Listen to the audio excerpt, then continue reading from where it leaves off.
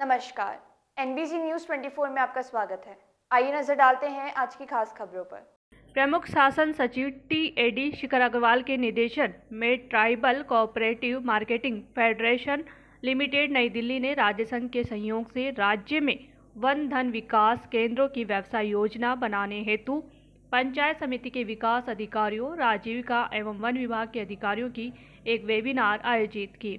इस दौरान आयुक्त जनजातीय क्षेत्रीय विकास विभाग जितेंद्र उपाध्याय ने बताया कि वेबिनार में दो चरण हुए हैं, जिनमें आठ जिलों, उदयपुर, डूंगरपुर, बांसवाड़ा, सिरोही, बारा, प्रतापगढ़, कोटा, झालावाड़ ज़िले के लगभग 100 सौ पंचायत समिति विकास अधिकारियों डेटा एंट्री ऑपरेटर्स राजीविका एवं वन विभाग के अधिकारियों को प्रशिक्षण दिया गया है।